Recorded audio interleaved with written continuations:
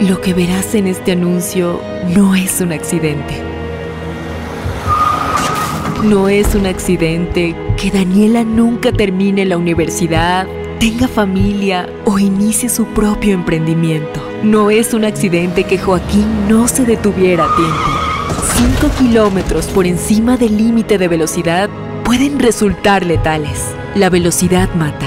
Bájale a la velocidad.